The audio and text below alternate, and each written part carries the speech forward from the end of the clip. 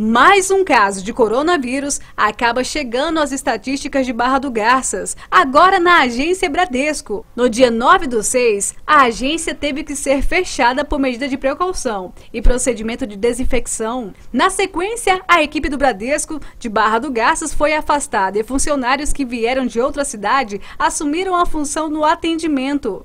O atendimento presencial dos clientes voltou normal na agência dia 10 do 6 e a previsão é que a equipe de Barra do Garças do banco comece a trabalhar dia 22 de junho. A assessoria de imprensa do Banco Bradesco ressaltou que o funcionário contaminado está bem e é assintomático. Ele está sendo acompanhado sem risco de infectar familiares ou amigos. Depois que houve todo o procedimento de desinfectar a agência, o atendimento voltou ao normal na agência de Barra do Garças. Com imagens de David Silva, Patrícia Regina para o Comando Geral, o Comando da Notícia.